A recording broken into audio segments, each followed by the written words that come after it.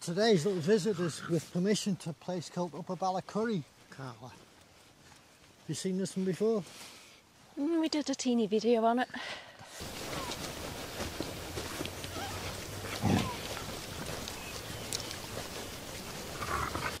Well, as we said at the start, this is Upper Ballachurry. We had a bit of a malfunction. Our steady camera's not working, so we're doing this by hand. So Carla's going to video me while I try and talk you through it. This was the house, the Ballachurry house. Huge big house, double floored. And you can see it's had a quite an ornate fireplace. Brick around it. It's had like, looks like a back boiler. The hearth's still there. On the other side we've got another big fireplace. Again, slightly more modern than what you've seen because they've got bricks around them. And just out there by the holly tree, if you look Carla, bit of metal, part of the old fireplace. Oh, I was going to say, is that money in the bank thing? Ah, but it's be, not. it? It's the old water boiler. Doesn't have an extension through here.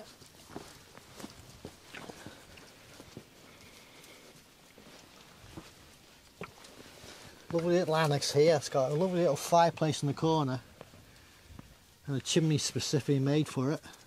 There'll be a scullery, I suppose. Door to outside world, and then you've got these little. I don't know whether it be stalls or whether it's something that had a lintel on it, you know, like a big lead slate. Um, slate. If it was a scullery, it'd be something to a house, something to do with animals. And it will have filled in a bit as well over the years. Enjoying this, aren't you? Usually you on the video. No comment.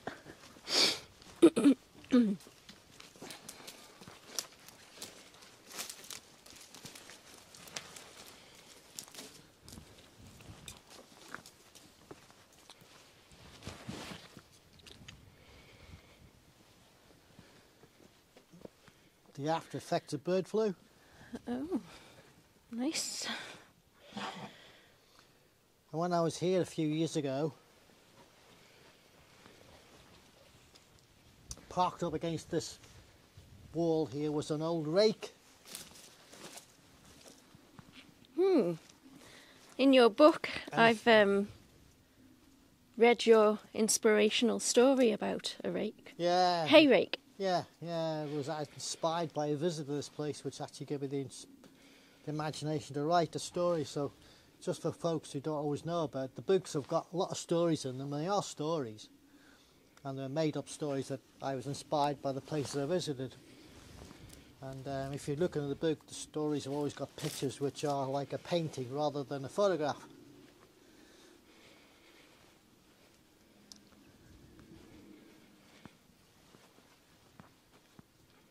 Carla?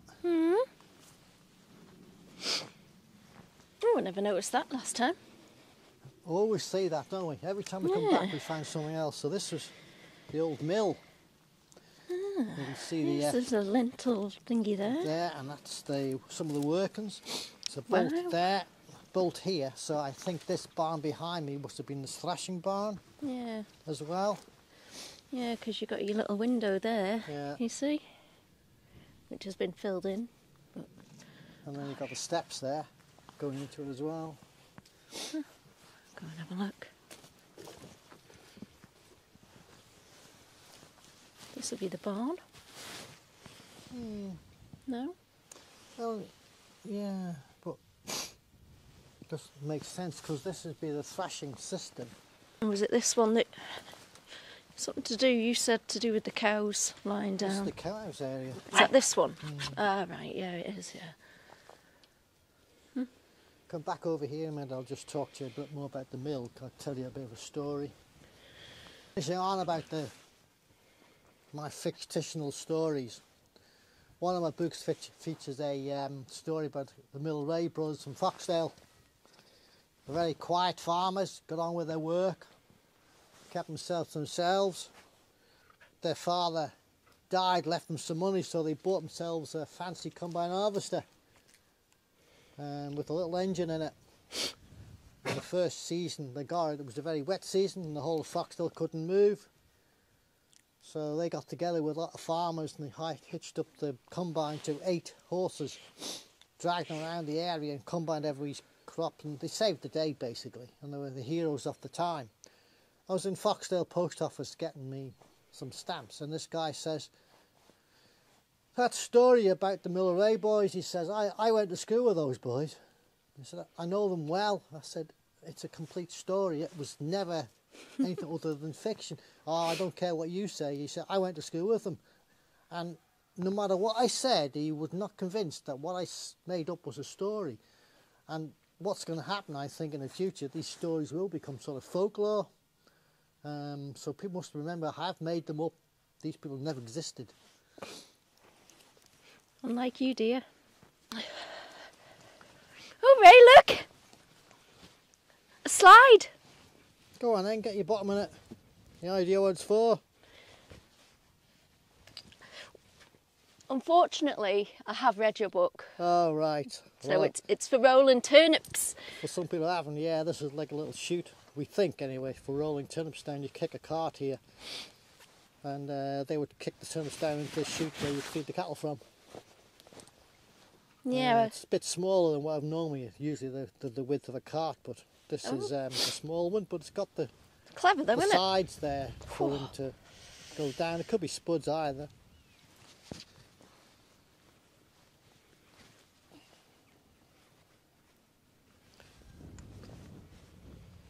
There's a whole pile of little um, sheds in this place.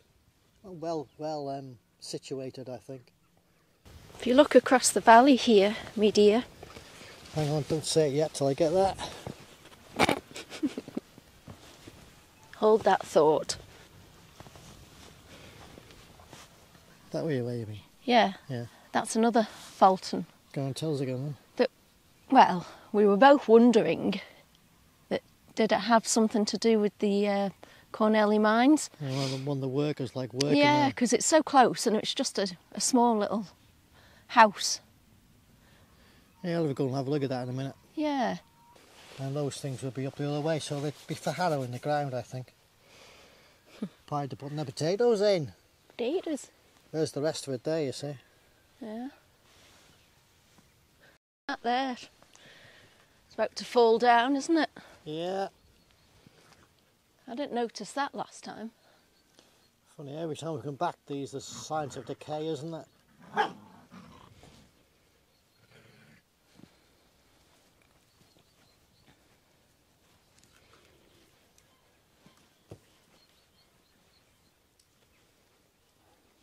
Should we go into the cow house? I think we should. Does it suit me?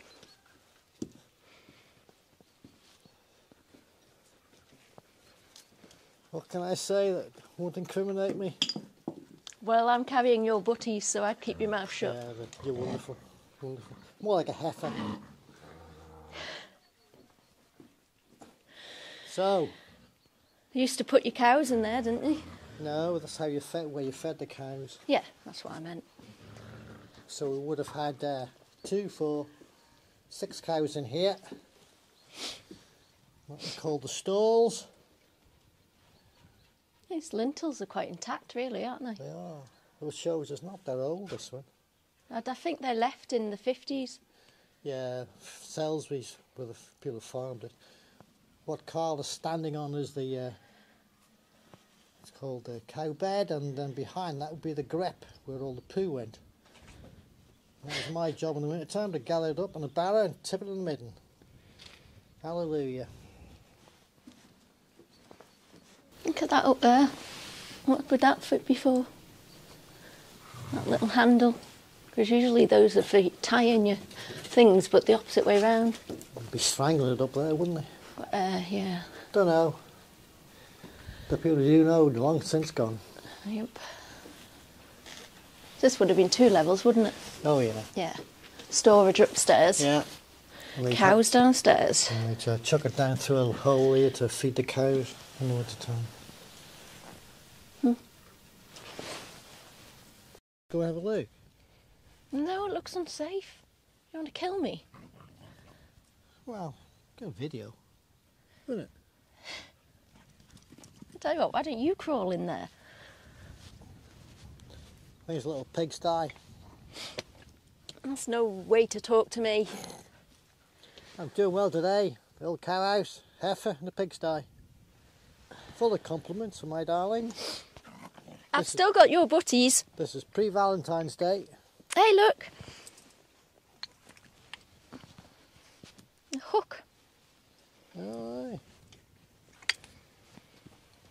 Stinks. What's in there, Pebbles? The tree up there is the old holly tree. The spirit world. Then we're upside here, this barn in here.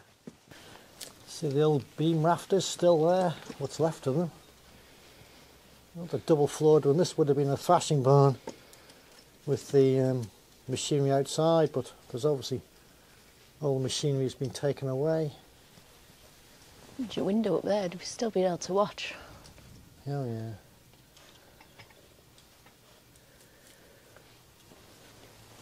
Hmm, wow. The old latch thing. Still there. You could spend hours finding all sorts, couldn't you, really? We probably don't spend long enough, believe it or not. Folks are going to say, give us a break. You're always there. You're always out every day. It does seem like it, doesn't it? Hmm.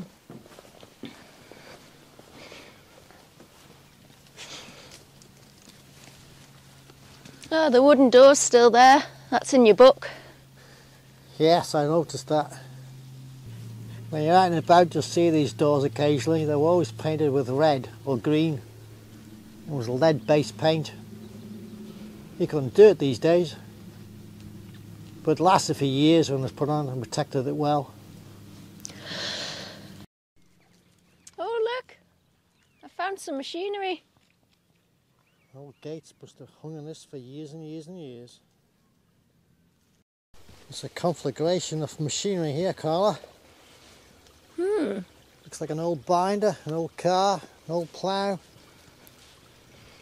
70 acres, this little farm was farmed, as you said, up to the 50s with the Salisburys, two brothers apparently. so it's been abandoned about 70 years, I guess.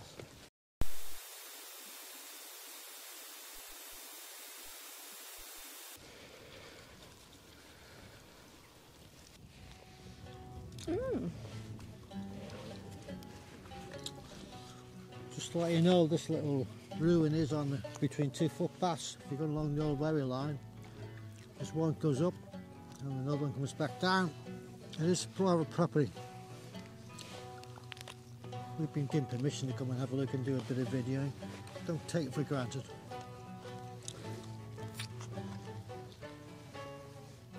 It was a nice walk, isn't it? Mm-hmm. Along up and back down again. It was a nice day. You'll come to a place called Kennelly Mines or Townsend's Mines or Jones's Mine, depending on which book you read. It's an operation up until 1849. So I called Gross was the manager, and lead was what it was producing.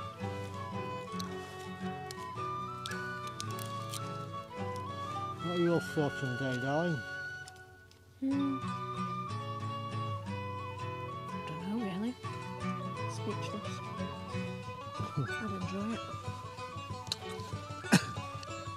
On the calendar when we get home.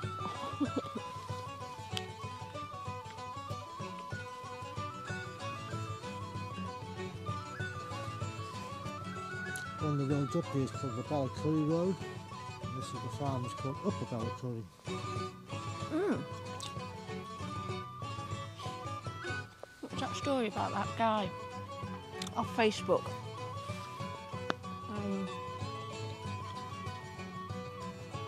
It is. Who was it? Across the valley. Used to watch over. Well, we're starting to see the mines working from Greeba or Norfolk Place Mm. in. Well, I'm looking here this morning. I can't see Greeba from the mine, so A long way away, isn't it? yeah, I'm not sure which mines he meant. Hmm. 13th of February 2023. Here you are wooing me again with more fountains. Gosh, I'm a lucky girl. Well, you just think how other girls are going to hold themselves back. it's my day tomorrow. Mm. Cards galore, I think.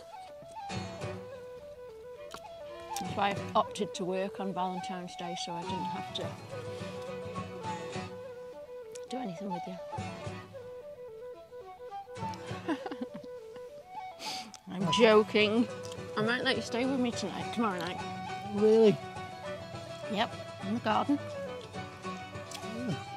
Getting close to the house, though.